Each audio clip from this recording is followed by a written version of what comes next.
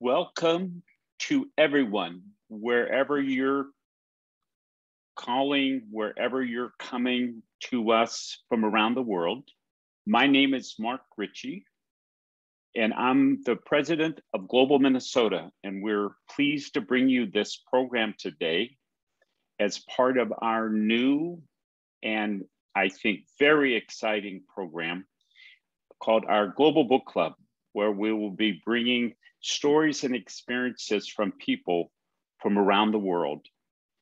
Our opportunity today is uh, brought to you everyone everywhere. First, to the generosity of our members. Thank you to all of our members who, through your support, were able to have free programming on global issues, on international affairs, offered worldwide, especially with a focus today on a very, very beautifully written book by our guest today, our author, and our book today, The Heartbeat of Iran. You'll be hearing from our author in a few moments, but I want to thank our special partners from today, Magers and Quinn. Those of you who know the Twin Cities know we have these fantastic uh, booksellers, Magers and Quinn. We're so thrilled to have you as our partner today. And Team Women, a professional organization of women who are helping to bring a next generation of young leaders into our community and to the world. And we are so fortunate to have Katie Burke, the executive director, who's our partner on things like this and many other things to do a special introduction of our author today. This is one of the ways that Global Minnesota has, for nearly 70 years now, been working to bring Minnesotans to connect to the world and the world to Minnesota thanks to the miracle of Zoom and the digital tools and platforms we have, we're now able to bring in guests like Tara, who happens to be in Italy today, but to connect Tara to those of us in Minnesota and those who are Minnesotans scattered around the world. And so today we'll have a special opportunity. Uh, your questions we can receive if you want to send us an email to questions at globalminnesota.org, and we'll be taking those questions um, uh, throughout this next hour. But I want to welcome our special friend and partner, Katie Burke, Executive Director of Team Women, to introduce our very special author guest today. Katie, take it away. Mark, thank you so much for having us here today. We love partnering with Global Minnesota and offering fabulous programming to our our extended community through this collaboration. And I'm excited to introduce um, all of us here gathered here today to award winning journalist Tara Kangarlou, who's going to discuss her recently book, as you mentioned, The Heartbeat of um, Iran. And Tara, in this book, she really captures the heart and soul of a country that's often seen through news headlines and political fog that blurs the reality of life for millions of Iranians inside the country. Each chapter in this book is incredibly nuanced, textured, and provides an intimate journey into the diversity of beliefs, struggles, and complexities of life in today's Iran. And they're all told through real stories of its people. So I'm excited to hear you talk to her today, Mark. Um, Tara was born in and raised in Tehran, and she's fully bilingual in English and also Farsi. She's got a bachelor's degree in English from the UCLA and also a master's in journalism from USC. She lives now currently, even though she's in Milan today, she lives currently between London and New York. And uh, but her career path has been fabulous. It's included time at spent uh, in opportunities with NBC LA, with CNN, with Al Jazeera America, and in the Middle East, covering the ongoing Syrian conflict, and in particular, Syrian refugee crisis and the MENA region at large. In addition to this huge career uh, and busy career, she's founded the Art of Hope, which is the first U.S. nonprofit that's strictly focused on providing mental health support and trauma relief among war torn Syrian refugees and vulnerable host communities in Le- Lebanon. So please, all of us, join join together and welcome Tara Kangarlou.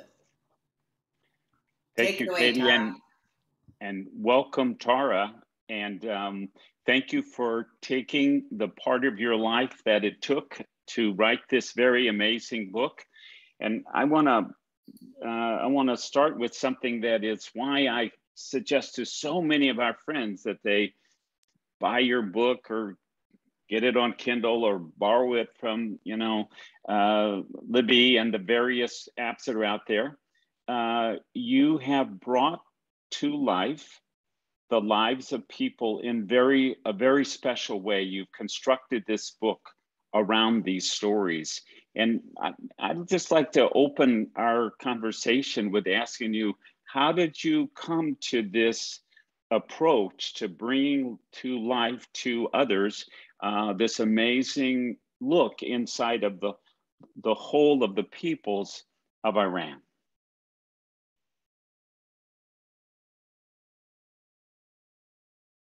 So Tara, I think you're still me. There we go. Thank you. Great. Yes, no, of course. Thank you so much, Mark and Katie. Thank you for having me. Thank you to everyone at Global Minnesota and, and all of the viewers for joining us from Minnesota and of course around the US and hopefully from around the world. I'm really thrilled to be with you all. And, and Katie, thank you so much for that kind and generous introduction and to you, Mark, um, for, for the opportunity to be with you all. Um, you know, I consider myself, um, you know, an American journalist, but but but I do still consider myself as Iranian as I'm American. And you know, having been uh, born and raised in Iran, but then spend the rest of my life in the U.S., I I always um, found myself trying to find similarities, you know, between the way I grew up or my background in Iran with my American friends, American counterparts and colleagues. And, and quite frankly, I realized that we as people of, of these two very different countries have so much more in common than, than what we think or are told through the news or you know the stories that we read and hear. Um, and, and those similarities have to be shared and talked about and discussed. And, and again, as a journalist, uh, you know, there's nothing more important than capturing human stories and human voices and, and um, issues that pertain to people wherever they're from. And so for me, it was so incredible, uh, incredibly important, I should say, to capture these people's stories of Iranians, ordinary Iranians from different walks of life, whose uh, passions and hopes and dreams and aspirations and fears and and and just you know day to day lives are so much more similar with those of us in the US or, or you know elsewhere in the world than than what people think and in these similarities and commonalities I think we we may find uh, uh, grounds to connect and and move beyond hostility and sort of you know political um, you know semantics so uh, that's really why I, I decided to spend four years writing this book, and we could talk about that, um, the process of it. But it was it was truly important to me because um, because it was a country and society that I that I know so well, and and human stories are are often forgotten uh, when it comes to discussions uh, on Iran. Well, I found myself in all the chapters finding things that seem familiar or very different. But I have to say, I was really lighting up with your story of the automobile racer the young woman whose family supported her to do something that people didn't necessarily think was the right thing. And she mm-hmm. could describe in her words through you what I felt like at 16 when one of my friends was making it as a drag racing uh, sports car driver in my little tiny hometown out on the prairie. And the, the Indy 500 I got to go to with my friend whose dad had the Chevy dealer. So there was something about that story that lit up a part of me mm-hmm. that I've left behind, but is always there. And so a good writer and a story told as you did can remind us of ourselves and then give us an opportunity to connect that part of ourselves with somebody from another culture, from an, mm. another society. So thank you for reminding me that there were many moments and still today when her ambition, and she's very successful now, um, you know, was something to be dreaming about, to aspire to. Were there parts of those stories that touched pieces of you that you go, oh, I wanted to be an automobile racer or mm-hmm. something else? Mark, that's such a beautiful point you raised. I think, like you said, as, as different as you know people are in the U.S from you know folks in Iran, these similarities exist. These commonalities are so universal. You know, dreaming toward a goal, uh, envisioning a mission that you want to achieve despite the challenges and obstacles, no matter which society you live in. Right? I mean, for for example, in the book, um, I have two stories about you know two members of the LGBTQ community that I think in the U.S. folks can can perhaps uh, resonate with because you know each state is different each community is different so the level of conservatism and, and liberalism um, you know varies with each city and community and and you know town and that's something so similar to what folks go through in iran but back to your question i think for me um, I think I always wanted to wanted to be a storyteller. You know, I always wanted to be a poet, actually. So um, I, I, I, used to write uh, poetry in Farsi uh, when I was growing up, um, and and and you know, I guess I didn't pursue that. But but for me, I always wanted to tell stories. And and when I moved to the states as a teenager, you I was 16, 17.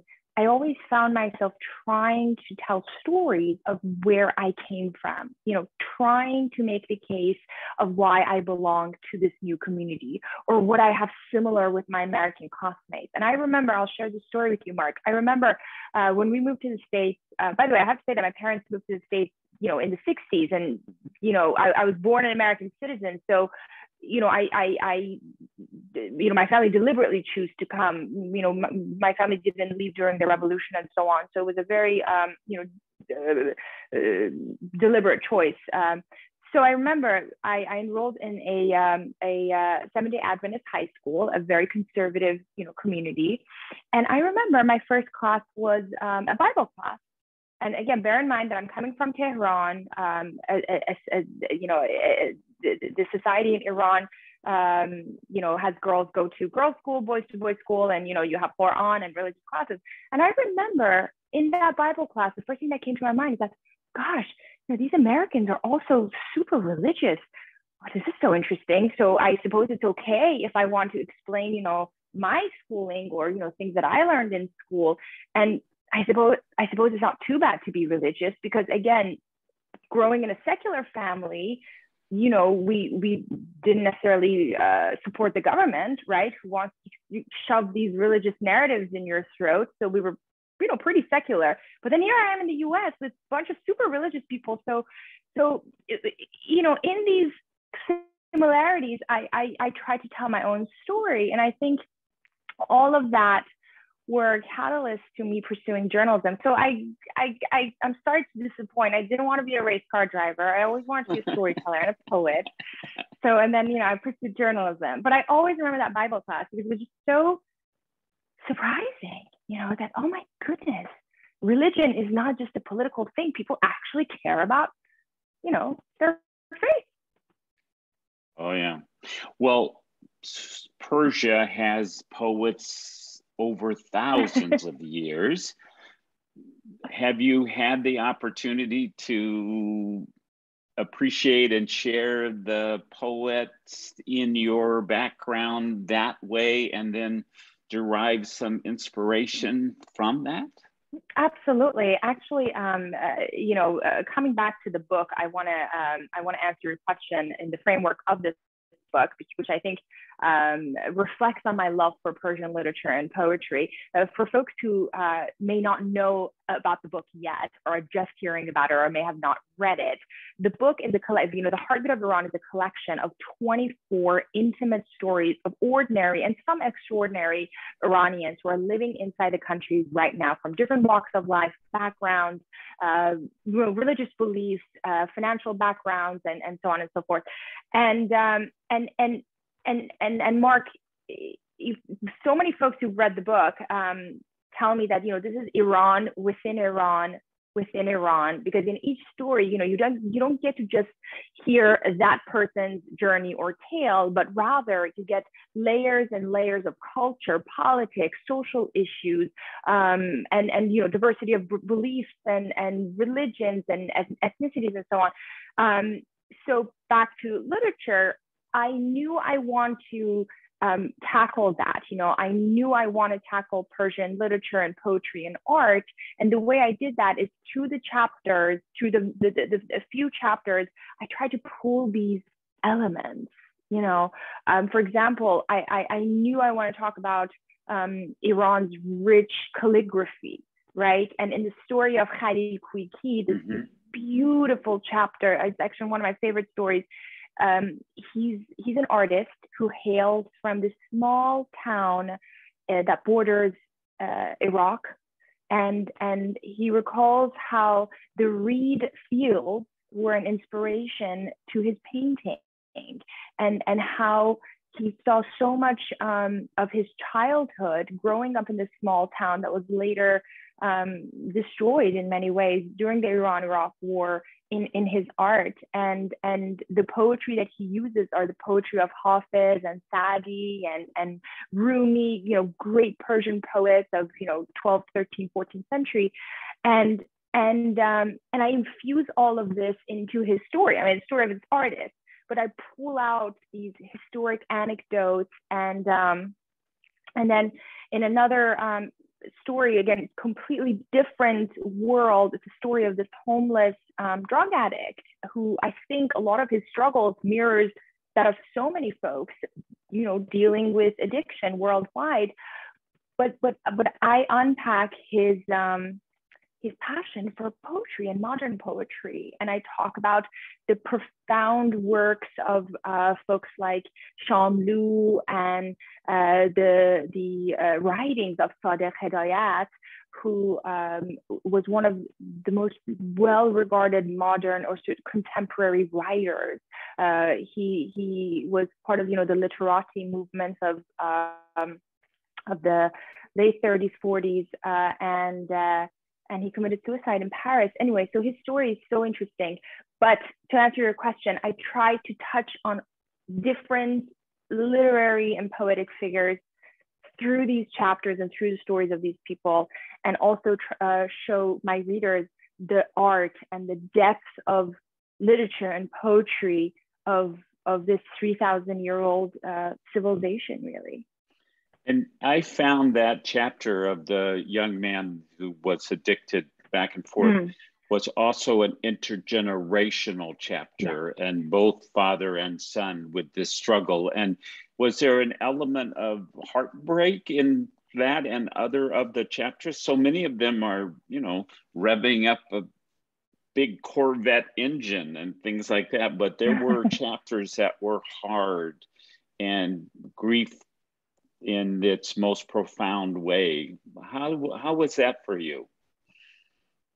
Absolutely, and and again, for folks um, who may have not yet uh, read the book, you know, it's uh, it's not a rosy take on Iran. It's not a romanticized take on Iran. Mark, you read it. I mean, the stories are are real um, anecdotes and journeys of, of ordinary people. You know, some are hopeful, some are heartfelt and, and beautiful and light, but some are incredibly heavy and daunting and and and um, and sad. Um, but I think in all of them, what what's universal is that person or that individual's passion for life. You know, this this this innate resilience to move forward in in this complex society and this country that's faced with so many challenges. So the heartbreaks were there, Mark. I have to say, I mean, I, you know, like I said, I, I spent about three, three years interviewing folks, um, you know, over the phone, WhatsApp, FaceTime, you know, whatnot.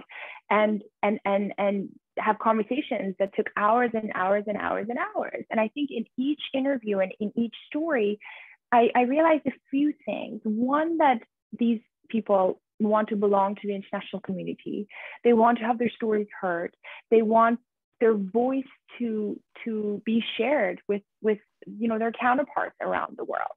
But also the second thing that that struck me after each story was the talent and potential and um, and uh, uh, uh, and capacity that exists in this country, you know, among the youth, among the people, but also the older generation. That if this capacity and potential is met, I mean, the, the, the, the society can not only get out of, of, of this sort of economic and political abyss that they're facing, but also be a contributor to the region and the world. Um, so yes, some stories are quite heavy, um, but but I think in all of them, I, I found an element of hope. Um, it, it, I don't know if you did, but but for me, there was always this element of hope. They they somehow managed to to to move forward, and I think that's a that's an ever present element in Iran in in everyday life in Iran is that people find ways to maneuver, people find ways to to live and move forward despite all the challenges that exist.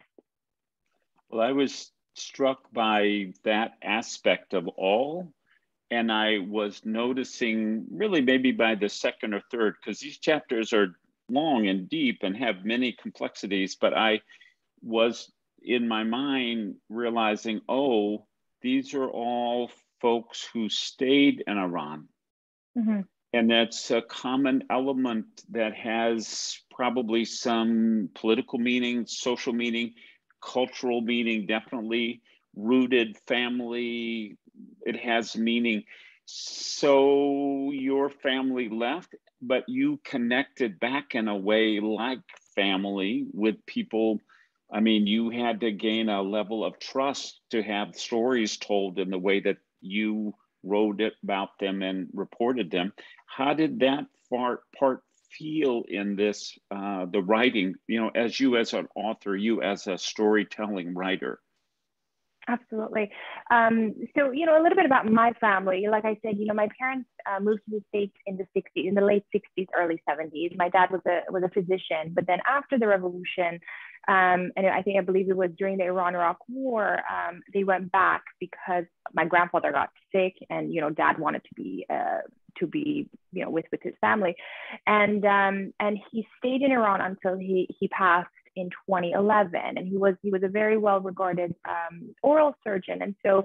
Um, you know, he's an example of, of a man, you know, the, the sort of uh, the generation that um, you know, did not support the government, does not, or if he was alive, he would not support the government. But but a generation that you know stayed and lived and worked in that country, and you know, uh, just just detached itself from politics. You know, being a doctor, you don't necessarily have, you know, you you don't deal with the political establishment, but but not, but but at the same time, it doesn't prevent you from being frustrated with with the day day to day challenges. And and there's so many people like my father who um, can leave but chose to stay. You know, who chose to go back, and and young folks who of course, some have left and many continue to leave. In fact, I, I, have written pieces on this, you know, talking about the brain drain of, of Iran, but some have decided to stay in this country and there are reasons for that. And, and, um, and, you know, talking about my connection to Iran, you know, I, I never wanted to give up my Iranian heritage and identity to become someone else. You know, I'm I'm a proud American. I'm I'm proud of my my American culture and and um, you know, I, I learned so much from you know this country and and and I cherish it. But at the same time, that doesn't make me want to give up on so much that that that I carry with me as an Iranian woman, right? Um, I do consider myself an American journalist because you know I I never worked for Iran or in Iran, and you know I'm I'm probably not welcome to go back to Iran because you know I'm regarded as you know an American journalist, dual citizen, and so on. But also that didn't prevent me from wanting to tell these stories because I fundamentally believe that. Um, you know, the narrative on Iran in the US is incredibly insular and narrow and, and strictly covers politics. The nuclear talk, you know, a bunch of crazy uh, politicians who no one can pronounce their last names, and you know, the the history of Iran for many Americans unfortunately starts in 1979, and and that's it, right? Then it's the hostage crisis, and and and and so on. But to me, knowing both countries, I realized that the need to tell these human stories because fundamentally, Iran is a country of 80 million human beings, not 80 million centrifuges and nuclear heads. And that distinction needs to be made. You know, Iranian people are separate from their government, but their stories never get told. And I think if if their stories are not told, therefore the world won't won't care about them because they they they don't regard them as human. And and so in ways I think what the book does it it humanizes Iran, right? And and takes away from this militarized image that you know folks in the US have of this nation of 80 million. Well, and 3,000 years of recorded civilization and recorded in various ways culture captured in art or poetry or pottery or in you know various forms. And um, i know for me this was one element that not all of the chapters but some of the chapters did touch on the what it means to be a 3000 year old uh, civilization.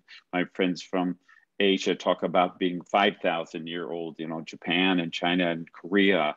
Um, but this aspect which is trying to connect has in my reading of the book the purpose of both understanding in its um, let's say shallow understanding but hmm. has the deeper understanding as its goal, the part where the heart comes to understand difference, similarities, acceptance.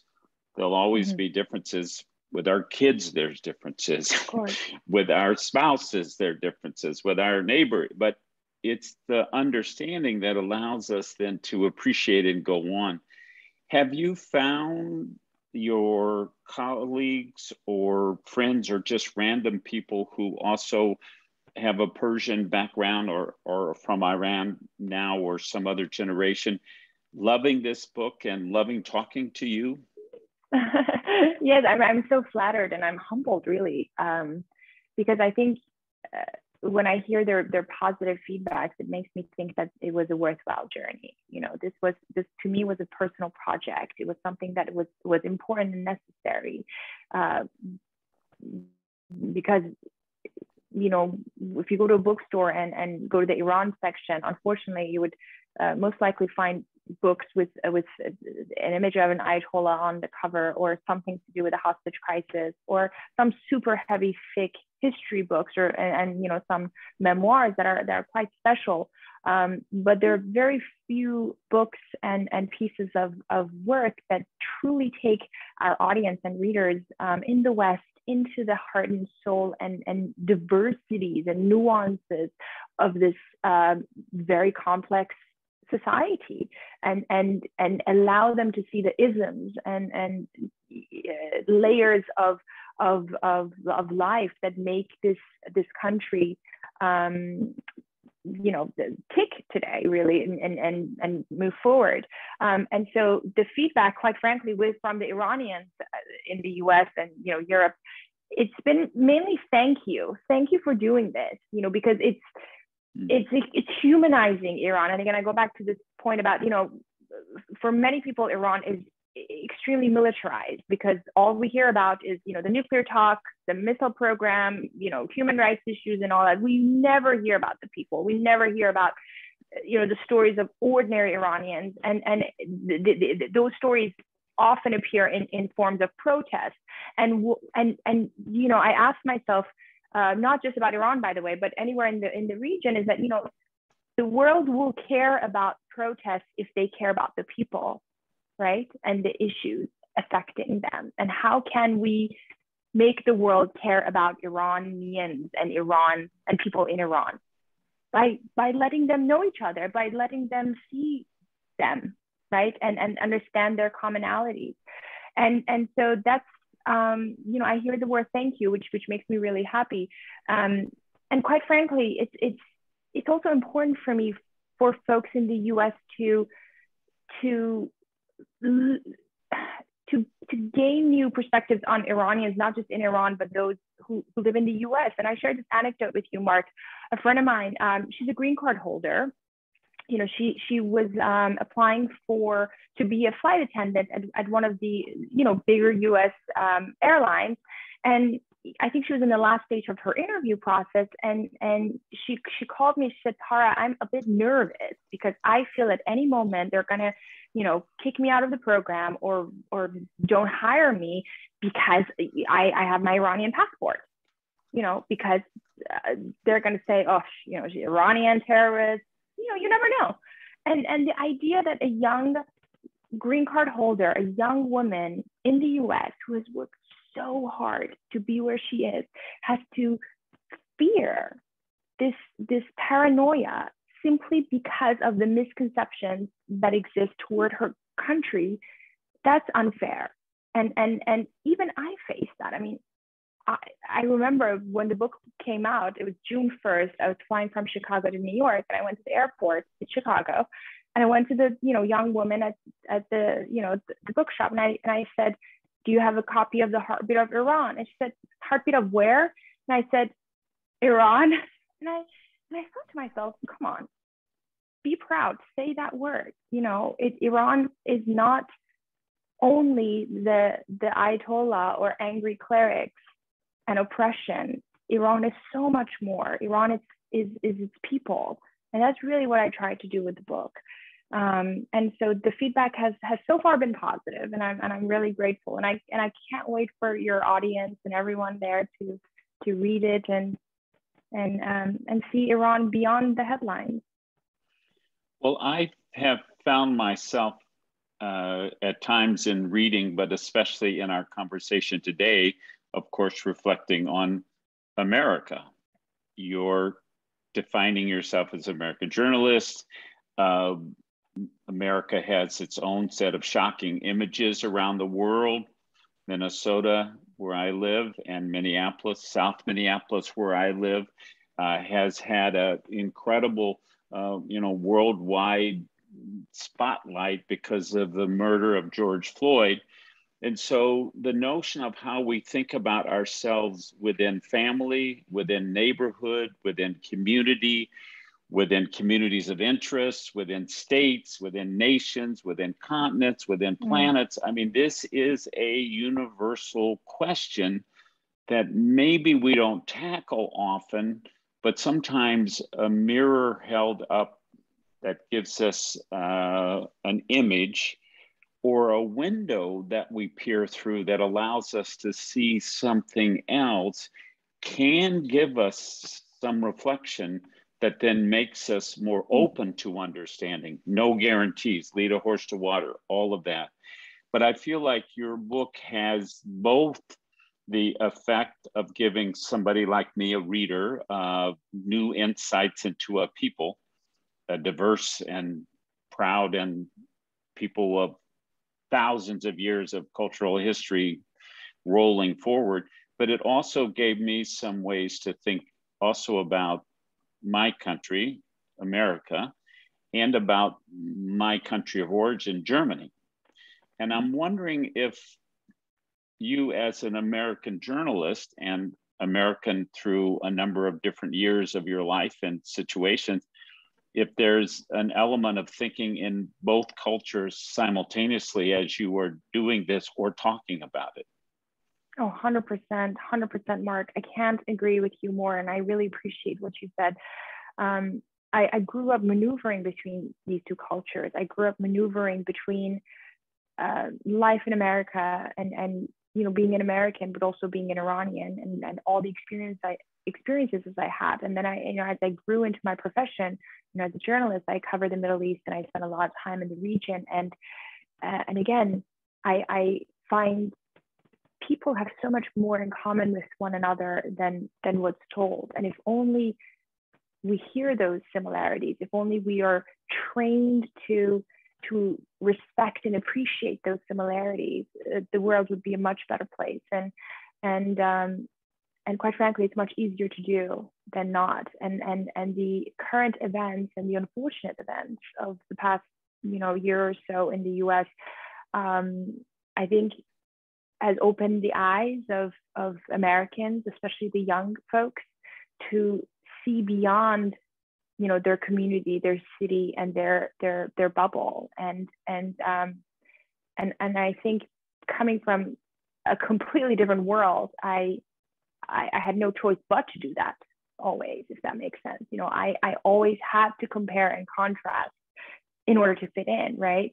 Um, but i think people right now in the us young folks right now are doing that. Um, and and i also uh, you know want to want to echo what you said because celebrating your roots and culture will only contribute to your society and, and community, whether it's a small one or a large one. And, and really, that's what I try to do in my work. Um, and I hope that this is a book that, that also um, broadens perspective towards this, uh, this country, but also allows uh, people in the US or Europe or elsewhere to reflect internally and kind of, you know, look at where they're standing in the world and, and, and what their story is and how much they have in common with, you know, their neighbor or someone who's living thousands of miles away. Well, I was thrilled to see some bits in the book in uh, rural areas and farming and food production and food. This has been my passion in my life. And of course, you know, it's urbanized societies have, you know, maybe more uh, access to media and to writers. But this was one element uh, uh of your book that was something like, I, oh, you know, oh yeah, that's part of the the society that we live in here in a, another big country like the United States. But I also was so appreciative of the that's just a sort of range of ordinary, I would say often extraordinary ordinary people um, that um, that you chose. And that you know a bit of the reminder of just how complex uh, a planet of 8 billion people is gonna be complicated. Mm-hmm. and to think otherwise is to um, you know not really appreciate that and so it seems like there's a universal message of your book about the complexity of life in, in the modern world, um, but you don't preach in any of the chapters about a sort of, and therefore, how did you avoid um, preaching at the end of some of these chapters or at the back of the book, you know, or something like that? How'd you manage that discipline? Because I'm a reporter. oh, oh, that. I'm a journalist. There's been a little slippage in that particular profession, perhaps. I'm impressed. Right now. Thank you. Thank you. That's too kind. Um, it was, it's not my story. You know, it's their mm-hmm. story. It's, uh, and I, I happen to tell the story because I know the complexities of that society. Um, I probably would not be able to tell the story, um, you know, the heartbeat of China because, you know, I, I've only been to China when I was five years old. And I think for anyone to be able to expand and open um, any society, any community, any country, they need to live and breathe that nation. They need to live and breathe that society. And I could do that easily with, with, with Iran, um, whilst keeping my journalist hat on. I mean, these are their stories, and and and I didn't want to have a therefore, therefore do that. That's up to you to to to choose, to decide. And I think that was my intention. You know, there is no agenda, there's no mission, there's no. It's up to you. It's up to you to to to look at these stories through the prism of your um, your life, your outlook, your perspective on, on, on how you want your community to be and your outlook to be. Um, and I and I often wonder um, what would it be like if I were to write a book titled, you know, "The Heartbeat of America," the heartbeat of the U.S. and and I and I would love to read that book um, because it also talks about, you know, the, the, again the last point you mentioned is that um, this society has a mirror in the U.S. and anywhere in the world right? Because it has the ups and downs and complexities and, you know, uh, the many shades that exist between the black and white, right? And I think, you know, in any society between, um, you know, the right and the left and the black and the white, there are multitude of shades and colors and isms that we just don't see. And and I think the U.S. is is is um, a great example. So um, I don't know. I do want to read that book, but um, sorry, that was not answering your question. But but but but I hope I answered the, the your well, question. Well, and it leads me to another another question, which is heartbeat is a very specific word.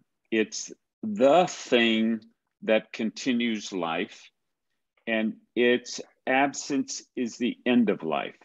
Mm-hmm. And hearts are complex things. And my own life has been touched by things that have to do with heart transplants and other things. Oh. But heartbeat was a choice you made of the word, not the heart of Iran. No. A different subject, perhaps, but the heartbeat, the thing that gives and continues life. How did you come to that? What happened? Oh, How'd you my get goodness. that? Um, so I did uh, probably 80% of my interviews in Istanbul um, because, you know, the time zone is the same with, with Iran uh, most of the time. And, um, and I was speaking with a friend of mine uh, who's also Iranian and she's been in the music business for a long time. And we were talking about the title of the book. And we, and I kept talking about how it's about the people and it's about how people are different than the government and, and how they give life. And, and we kept thinking, okay, what gives life? What it's a heart, it's a heartbeat. And so that's how it came about. But if you allow me, um, if that's okay, I would read um, maybe one, this very short Please. paragraph if we have time, if that's okay. Oh, yes, because, ma'am. Because I think time. this would answer your question. time, we have thousands of years, of course. Oh, thank you. I would, um, I do want to read this last part. Um, Okay, because I because I think it answers um, your question, and I hope it does. Um, okay, all right. and this is just the introduction, so there's no spoilers. I'm not, you know, uh, revealing anything. it would be uh, impossible to spoil any this book. Let me say, let me just say that out loud. Okay, all right. Thank you. Okay, so uh, here it goes. As I finish writing my introduction, I can't help but think of Margaret Atwood's words on how she hopes that people will finally come to realize that there's only one race, the human race, and that we're all members of it. As you read this book, more than anything, I hope you come to understand the values and humanity that you share with the average Iranian, an experience that will enable all of us to see beyond the surface, beyond the political headlines, and beyond the dark shadows of hostile governments. In doing so, you're already creating a path for discourse, dialogue, and engagement, all necessary ingredients for any form of progress, peace building, and change. Inherently, when people recognize their similarities, they become more tolerant and understanding of one another. And when you finish this book, I hope you remember that it's the people of a nation who define their country, their values, and their history. By now, some of the people I've featured in the book may have left Iran, some may have changed careers, and some may have even died. But one, will, one thing will remain, and that is, or was, their passion for life. Governments come and go, presidents change, regimes collapse, but what will forever remain is the pulse of the people who pump blood into the veins of their land. People who, in this case, are the heartbeat of Iran. there it is. That gives us this big picture of where you were going. And believe me, I believe you got there. but I know that you, having the discipline of a reporter, to not say therefore in this mm-hmm. book, you wanted the pulse, the heartbeat to be the dynamic. But other things in life have then motivated you to create nonprofits and ways of addressing some other issues. The most important image I have from our last year or so here in Minnesota was the mural of George Floyd on a mm-hmm. bombed out side of a building in a little tiny rural village in Syria mm. knowing that what had happened here created a shockwave throughout the planet and a response ripples out and ripples back a response from everywhere somewhere mm-hmm. in there you have found a special place in your life and your heart and addressing mental health and trauma for those affected by that terrible civil war in Syria. Many of our governments are involved, both of your countries and many others. Tell us how that particular, therefore, for yourself came to be, and how others who might come to share that perception this needs some attention from other humans this needs some pulse some heartbeat mm. how they could connect with you about this absolutely mark and i really appreciate you bringing up um, this and and you know my work with art of hope. Um, you know you you you know i um, you know, I spent some time in Jordan and Lebanon and Turkey, you know, bordering uh, Syria, covering the conflict there since 2014, and and you know have reported on the issue from from various uh, angles and you know perspectives and stories, and every story I did somehow uh, made me realize that that these people are, are severely affected by emotional wounds and trauma and PTSD, and um, and and and those needs are not being addressed. And this is something that stayed with me and and and made me um, you know led me to to start my nonprofit art of hope in 2016 um, we are a small nonprofit um, that i that i uh, launched simply because the, the issue was not being addressed and you know we, we predominantly work in lebanon a country of 6 million with nearly 2 million refugees including 500,000 500, Palestinians who've been there for years. Um, and as you know, uh, Lebanon doesn't have the infrastructure to, to host this many refugees. And, you know, the country today is actually the anniversary of the, of the tragic, you know, August 4th port explosion. Right. And so, and so for me, you know, as a journalist, um, I had the privilege really to, to see history unfold, uh, but, but it was rather a tragic history right and and and the impact of it on on people was was was uh, you know tra- traumatic for me even as a reporter. And so that's when i decided to um, you know take my uh, reporter hat off and put the hat of an activist for mental health uh, for something that again is so apolitical. And, and i talk about this a lot you know journalists mark are not activists okay? Reporters and journalists we're not activists. That's a, that's a different that's a different job. But there's things like mental health um, you know using women and children as as uh, tools in war um, using sex as, as a war weapon using you know or, or the human trafficking you know these, they're fundamentally inherently wrong things right there's no question you know no one's going to question whether trafficking is okay or not, or or you know, traumatized child should should be supported or not, right? So that's why I felt that it's okay for me to use my voice and experience in this form of support and activism for children and, and refugees that are uh, that you know fled war and conflict, as well as the uh, vulnerable host community. And the way we work, Mark, is uh, we uh, partner with local NGOs, local grassroots in Lebanon, young uh, mental health professionals who again, you know, themselves are struggling because of, you know, the host of challenges at home um, and, and help them provide mental health and trauma relief services, mainly through art therapy. So that's what we've been doing. I mean, we're a small nonprofit, but very targeted, very curated. And, you know, uh, we all work pro bono. Um, this is something, it's a passion project of mine. All of our volunteers are pro bono in, in the US. So we fundraise and, you know, we, we give support to um, to folks on the ground. And I have to say that last year after the explosion, we went to the field, and this year with COVID, we still managed to support, you know, a small community of 60 kids for a couple of months. Um, so you know that's still something, um, but, but we're extremely targeted.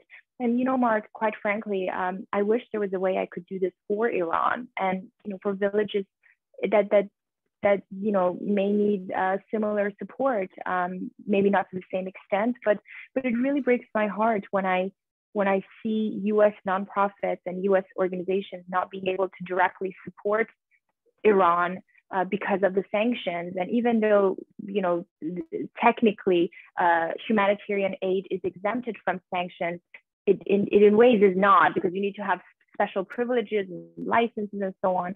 So it's a complex issue, and it it often breaks my heart that you know I can't even do that for my own country. But but again, it's um, I hope it's a way that I can use my experiences as a reporter to have tangible impact on something so so so important, which is mental health.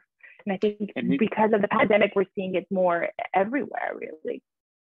And is there a website people could get more information?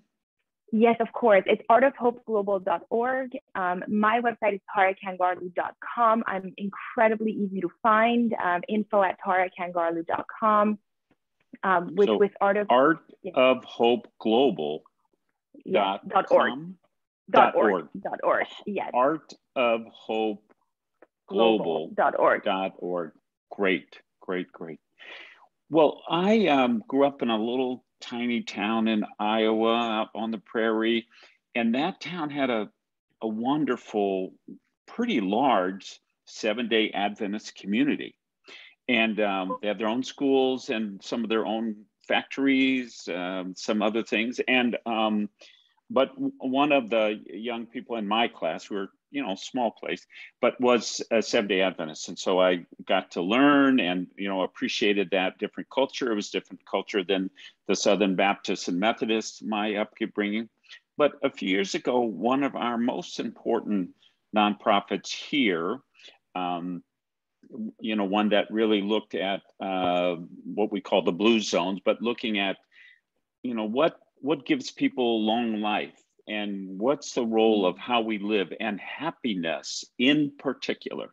And the seven day adventists and that organization have become you know in a way kind of merged. And i've just appreciated so much their contributions in different ways to our society so i was a little taken back by you had this incredible opportunity maybe as a young person it was uh, unusual in different ways but it seemed like um, you landed in the United States in kind of an unusual way.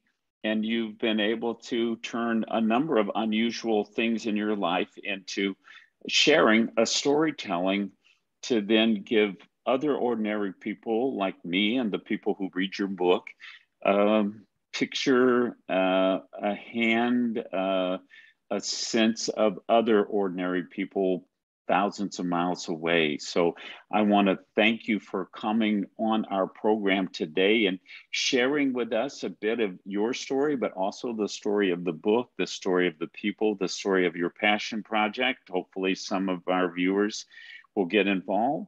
But I want to give you the opportunity of a last word. You gave us an incredible insight from the introduction of your book maybe there's another part that you want to share, but we still have a few minutes. I want to give that time to you. Thank you, Mark. Thank you. So kind of you. And, and it's, it's truly humbling, really. I think, you know, writing this book, my work, um, it's, it's, it's very humbling. And, and um, you know, I want to share a quote that um, that has resonated with me more in, in, the process of writing this book and also sharing it with the world.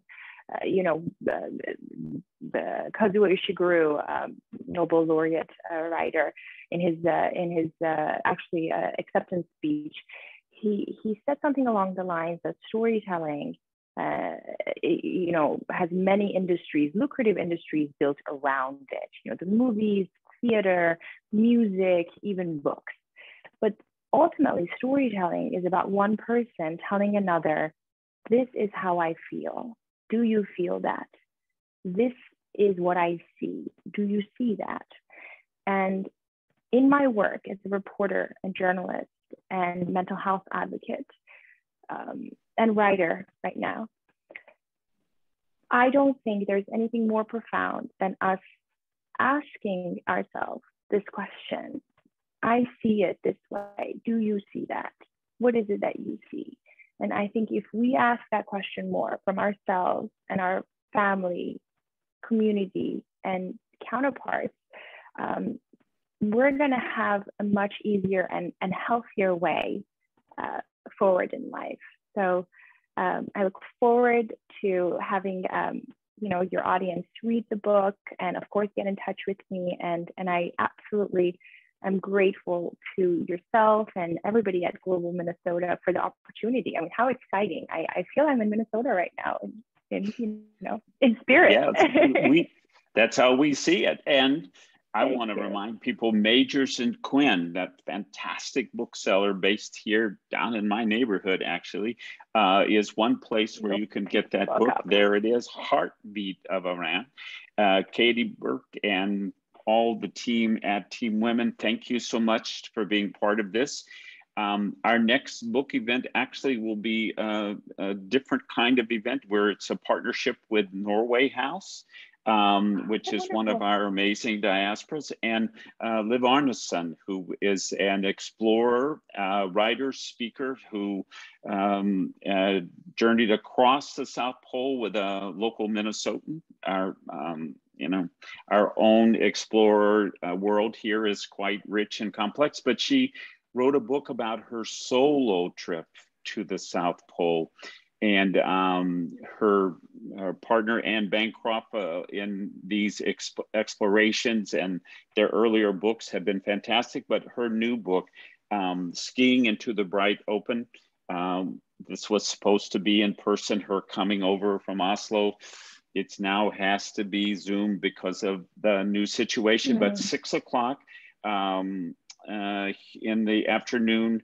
and uh, you can go to the Norway House or to the Global Minnesota website and get more details. Uh, but that'll be a fantastic discussion, and I'll um, uh, have the opportunity to moderate and to ask a lot of questions and um, find out a little more about that. And then remember that next week um, on the 10th at um, 1.30, so it's an unusual time of the day after lunch, um, in partnership with U.S.